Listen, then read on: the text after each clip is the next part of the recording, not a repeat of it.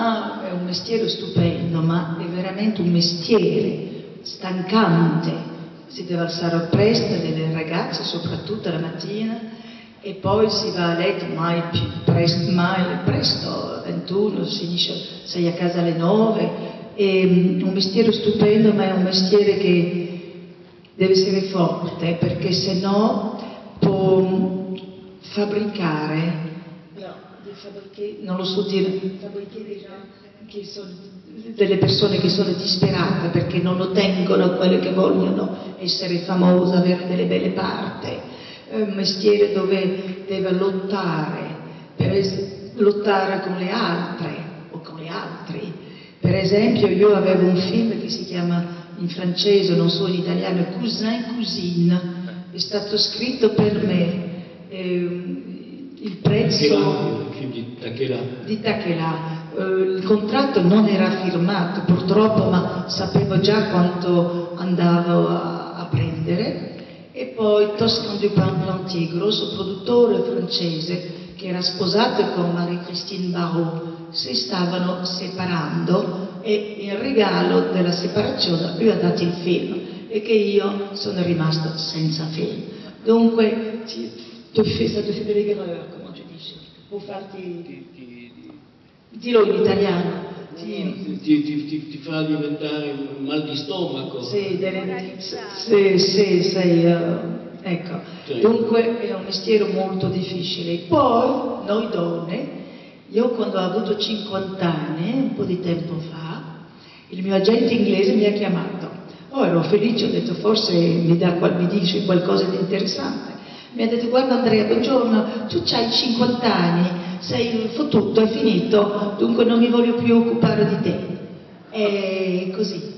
E dunque dici, ma insomma 50 anni uno non è vecchio, no, no, no, no, per noi in Inghilterra eh, basta. E dunque non ho più da gente in Inghilterra. È tutto così. E, e la lotta adesso, alla mia età, ho 71 anni, eh, è di trovare delle parti.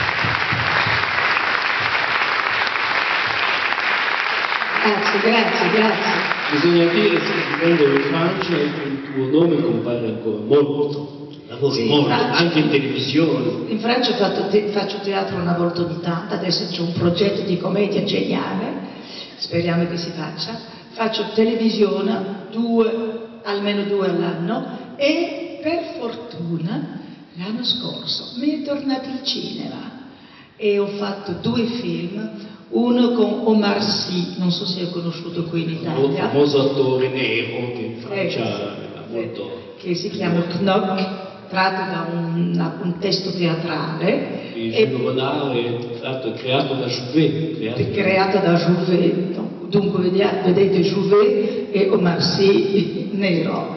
E poi ho fatto un film molto bello in costume su la, una realtà eh, francese delle principesse eh, all'epoca di Louis XIV, Luigi XIV. E dunque queste principesse di diversi paesi europei eh, che prendevano per andare a sposare il figlio di un paese e il figlio di un altro, che così si cercava di evitare le, le guerre. Questo film è molto bello, si chiama L'échange, il cambio delle principesse. Non so se uscirà in Italia.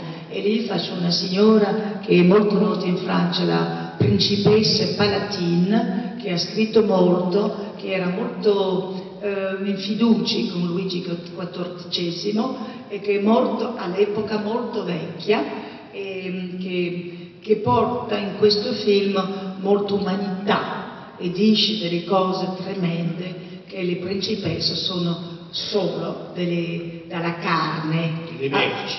Eh? Delle merci. Delle merci, ecco. E, e, allora che succede? Che adesso ho cinque progetti di film, speriamo bene. Speriamo bene.